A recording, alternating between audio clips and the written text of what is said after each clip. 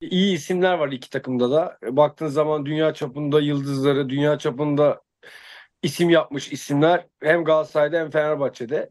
O yüzden futbol adına çok güzel bir derbi olmasını istiyorum ben. Kavgasız, dövüşsüz, e, hakem hatalarını konuşmadığımız, sadece futbol konuştuğumuz bir güzel bir derbi e, izlemek istiyorum açıkçası.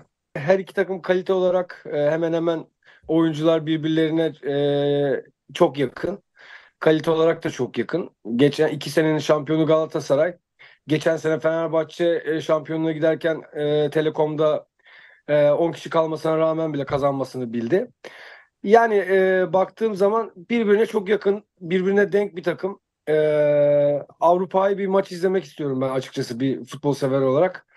O yüzden e, yani baktığın zaman Forvet'te Ceko var. İşte e, Icardi sakat. Batshuayi var. E, yeni transfer dünya çapında bir bir oyuncuları var.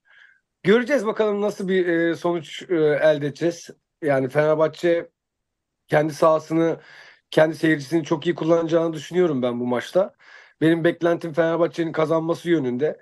Genelde kamuoyunda şu bir beklenti var. Berabere biter, berabere biter diye. Ben istemiyorum beraber bitmesini. Hem gollü geçsin hem de güzel bir seyir zevki. Sadece derbiyi konuştuğumuz, oyuncuları konuştuğumuz, performanslarını konuştuğumuz bir derbi olmasını istiyorum açıkçası. El Clasico dediği zaman derbileri bütün izlediğimiz şu an mesela El Clasico dediği zaman kimse izlemiyor hemen hemen ama o, o dönemler Ronaldo'lu Messi'li zamanlarda Mourinho'lu Guardiola zamanında herkes ekran başına dünya dünyadaki bütün futbol severler ekran başına e, geliyordu. Şimdi ben e, Mourinho Mourinho, e, Okan Buruk da Guardiola olarak düşünüyorum. Güzel bir derbi, e, rekabet içinde bir derbi olması istiyorum. Sadece futbol konuşulan. Tabii e, futbol sağ dışında da Mourinho gerçekten çok zeki e, söylemler de yapıyor. Çok zeki tara- e, rakip takımı e, hem havaya sokacak hem de e, strateji yani bu onun her zaman hayatında boyunca futbol hayatı boyunca antrenörlük hayatı boyunca hep bu vardı.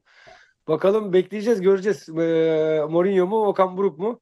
İnşallah El Clasico gibi güzel bir o zamanlar gibi derbi izleriz diye düşünüyorum. Bence Fenerbahçe'de en önemli oyuncu e, Ceko diye düşünüyorum. Ben hem e, takım arkadaşlarının yeri geldiği zaman e, top dağıtması, e, orta sahaya kadar gelip pas trafiğini sağlaması, hem gol atması hem asist yapması. Yani Fred, e, Ceko e, en önemli isimler olduğunu düşünüyorum. İsmail'in de temposu son e, bu sezon özellikle çok iyi bir futbol sergiliyor. E, Fenerbahçe'nin dinam- dinamizmi diye düşünüyorum. Dinamik olarak orta sahada hem merkezde hem ucunda inanılmaz işler yapıyor. Top kazanmada, pas, pas e, alışverişinde de. Yani bu üç isim Fenerbahçe adına çok işler yapacağını düşünüyorum. Maçın önüne geçeceğini düşünüyorum.